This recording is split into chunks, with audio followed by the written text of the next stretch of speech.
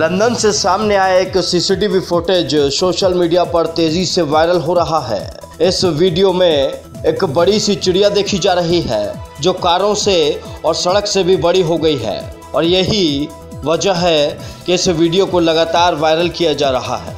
इस वीडियो को देखने वालों की संख्या लगातार बढ़ रही है। दरअसल, सीसीटीवी की फुटेज में आने वाला ये पक्षी समुद्री चिड़िया है।